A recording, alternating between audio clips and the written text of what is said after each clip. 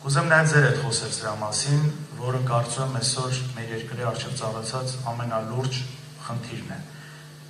Դա այն է, որ մենք դառնում ենք, եթե ոչ արդեն դարձել ենք, տարբեր ուժային կենտրոնների բախման կետ։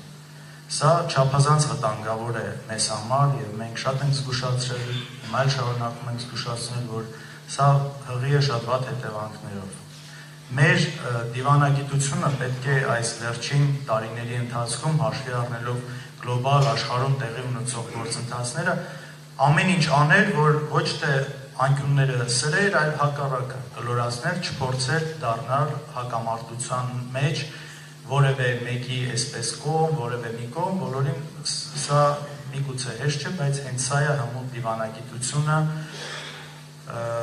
որը պարտավոր էին անել, բայց մենք տեսնում ենք, որ մեր արտաքին քաղաքականության կարծես հիմնական նպատակը լինի մեր ընկերներին ճշնամի դարձնել։ Սա չափազանց վտանգավոր է եւ այստեղ հետաքրքիր է, ես մի համեմատություն արեցի երեք, որը հետո իշխանության քարոզիչները փորձեցին ուրիշ ձև մեկնաբանել, երբ որ հարաբերությունների մեջ համատեցի տղամարդուն եւ կնոջը, երբ որ մեկը մյուսին կասկածում է դավաճանության մեջ եւ այսպես ասած ինադու հակառակ բան է անում Այստեղ ես երկիրը չէի համատում, այն ինչ իրանք փորձում են ասել, այլ իրանց կոնկրետ իրենց իշխանությունն է այս կերպարը, ոչ թե երկիրը, ինչպես իրենք հետո փորձում էին ասել։ Բայց այստեղ հարցը նույնիսկ ոչ թե ամուսնական զույգի մասներ, այլ ընդհանրապես հարաբերություններում, եթե մեկը մյուսին կասկածում է որևէ բանում,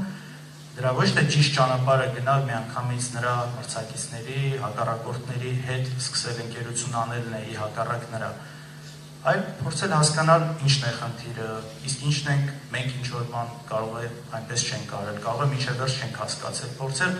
հարաբերությունները կարգավորել, ոչ թե փորձել ի հաշիվ եղած ընկերների հետ վատ լինելու նոր ընկերներ ձեռք բերել։ Սա շատ վտանգավոր է եւ սա ոչ մի լավ տեղ չի տանում ու չի տանելու մեզ։